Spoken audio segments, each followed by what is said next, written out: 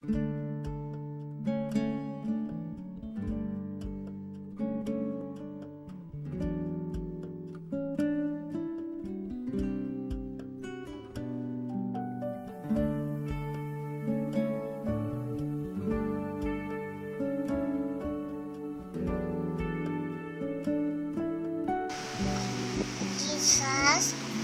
pinapipig ko po, bigyan nyo sila pagkain, damit,